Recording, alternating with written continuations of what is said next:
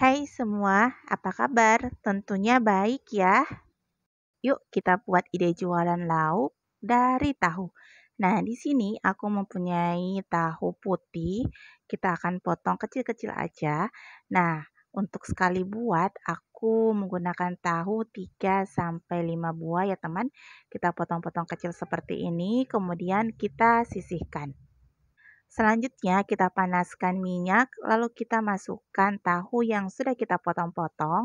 Lalu ini kita akan diamin dulu ya teman sampai bagian bawahnya agak kokoh. Baru boleh kalian balik. Karena tahu putih ini rawan hancur ya teman. Nah untuk menggoreng tahu ini dipastikan minyaknya dalam keadaan benar-benar panas. Nah setelah kalian masukkan tahunya kalian boleh kecilkan apinya dengan menggunakan api sedang. Nah, ini udah mulai warna kecoklatan di sisi sebelahnya kita balik ya. Lalu setelah semuanya berwarna kecoklatan, ini boleh kalian angkat lalu kalian sisihkan. Nah, kalian tidak harus menggunakan tahu putih seperti ini ya teman. Kalian boleh menggantinya dengan tahu kuning atau tahu sutra, tapi harga jualnya jauh lebih tinggi daripada tahu putih. Kemudian kita akan siapkan bumbunya. Di sini aku menggunakan 4 siung bawang putih lalu kita cacah kasar seperti ini ya teman. Nah ini kita lakukan sampai semua bawang putih habis tercacah kasar. Nah setelah tercacah kasar seperti ini kalian boleh sisihkan bawang putihnya. Ini juga kalian bisa ganti dengan bawang bombay ya teman. Tapi untuk mencari yang ekonomis kita menggunakan bawang putih. Selanjutnya di sini aku menggunakan bawang merah sebanyak 7 sampai 8 siung. Nah, ini kita potong-potong seperti kalau kita membuat bawang goreng ya, teman. Nah, setelah kita potong-potong seperti ini, kita sisihkan. Selanjutnya di sini aku menggunakan satu buah cabai besar. Di sini aku keluarin bijinya ya, teman. Nah, setelah keluar bijinya, kita akan potong-potong persegi seperti ini. Untuk resep aslinya, kalian bisa ganti dengan menggunakan paprika merah.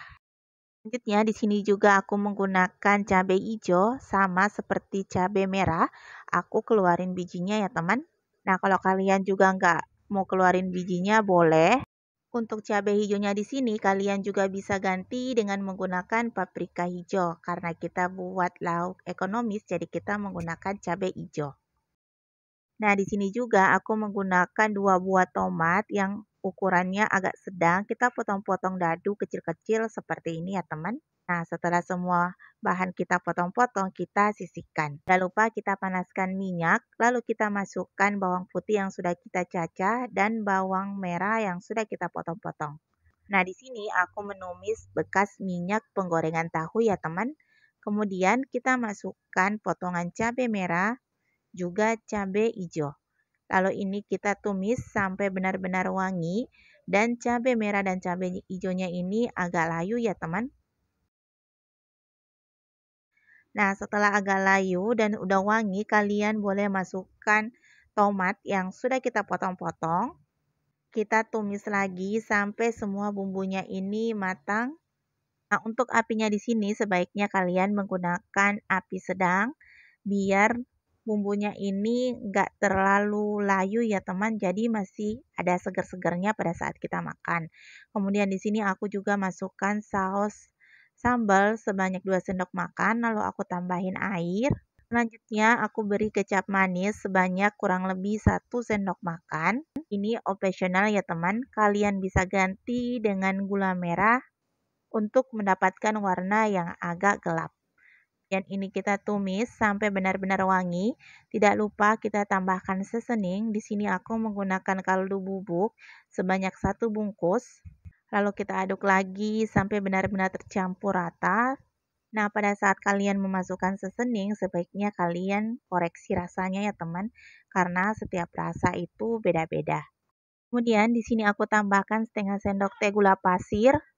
Ini kita aduk lagi sampai tercampur rata. Kemudian ini kita aduk, pastikan semua bumbu terbaluri di tahu ya teman. Dan pastikan bumbunya ini meresap sempurna ke dalam tahu. Terakhir kalian boleh tambahkan cabai hijau lagi ya biar warnanya lebih menarik. Nah, ini kita masak sampai airnya agak susut dan bumbu benar-benar meresap ke dalam tahu. Nah, kira-kira seperti ini, ini siap kita angkat lalu kita sisihkan. Nah, untuk kalian sajikan di atas meja bersama keluarga, kalian boleh taruh di wadah seperti ini. Lalu kalian boleh taruh di atas meja dan ini siap untuk kalian santap. Dan untuk dijual, kalian boleh pakai di mika tahan panas. Sebelumnya di sini aku alasi dengan daun pisang. Nah, karena ide jualan lauk rumahan saat ini menguntungkan dan banyak yang coba, tidak ada salahnya kalian buat salah satu menu ini sebagai salah satu ide jualan lauk rumahan yang sangat menguntungkan. Nah, untuk harga jualnya kalian bisa sesuaikan dengan harga bahan dan target pasar yang kalian tuju. Nah, selesai sudah tutorial cara membuat tumis tahu ala-ala jualan lauk online. Semoga kalian suka dengan resepnya ya. Mohon dimaafkan jika ada salah-salah kata dalam pembuatan video ini.